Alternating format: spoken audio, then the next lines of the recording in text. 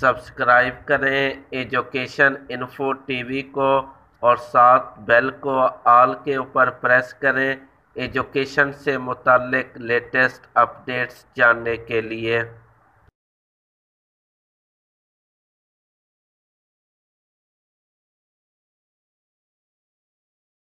असलकम I am Abdul Karim, education info TV में खुश आमदीद।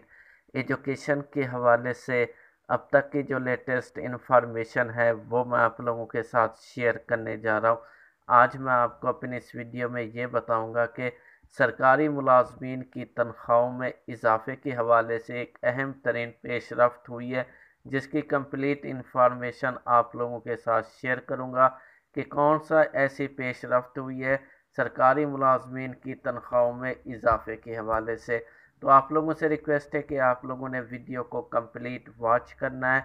अगर कोई बात समझ ना आए तो कमेंट्स में पूछ सकते हैं। अगर चैनल में न्यू है तो चैनल को सब्सक्राइब कर दें। तो यहाँ पर अब आप लोगों को इसकी इंफॉर्मेशन देता हूँ कि सरकारी मुलाजमीन की तनख्वाहों में कौन सी ऐसी पेश रफ्त की गई है। महकमा S and G A D ख़जाना और कानून मिलकर मुलाजमीन के मसले का हल निकालेंगे। कमेटी सरकारी महकमों में मुलाजमीन के मसाइल का हल का फ्रेम वर्क तैयार करेगी। सूबाई कैबिनेट बर ख़जाना के अहकाम पर कमेटी तश्कील दे दी गई। मुख्तलिफ़ महकमों के छोटे बड़े केसेस से इदारों का काम मुतासर हो रहा है अहकाम सरकारी मुलाजमीन को मुस्तकिल और तनख्वाहों में इजाफे पर कमेटी तश्कील।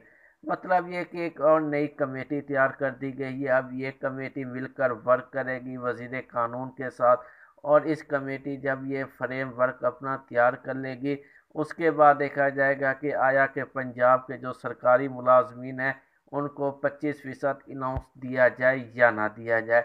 ये पुरानी ही स्टोरी चल रही है। देखिए आप लोग, अगले महीने जून के पहले हफ़्ते में बजट पेश हो जाएगा। आज जून, आज मई की चार पाँच तारीख हो गई है और तीन चार तारीख में अभी तक सरकारी मुलाजमीन की तनख्वाहों में पच्चीस फ़ीसद इजाफे के हवाले से कोई भी फ्रेम वर्क तैयार नहीं किया गया। कमेटी के ऊपर कमेटी तश्कील दे दी जाती है। अभी तक कोई हतमी फ़ैसला नहीं किया जा रहा। मेरा मैथ ने तो आप लोगों को पहले भी कह दिया था कि ये कमेटी पर कमेटी बनती जाएगी और एक वक्त आएगा, बजट आ जाएगा और बजट में सरकारी मुलाजमीन को यही पच्चीस फ़ीसद दे दिया जाएगा। हो सकता है एक या दो अठाक पैसे में जम करने के बाद यही पच्चीस फ़ीसद सरकारी मुलाजमीन की तनख्वाहों में इजाफा कर दिया जाए, लेकिन हतमी तौर पर कुछ नहीं कह सकते। अब एक और कमेटी तश्कील दे दी गई, जो लेटेस्ट ब्रेकिंग न्यूज़ मुझ तक पहुँची।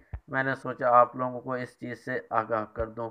अगर वीडियो अच्छी लगी हो तो लाजमी से इसे लाइक एंड शेयर कर दें। Thanks for watching us. अल्लाह हाफिज़।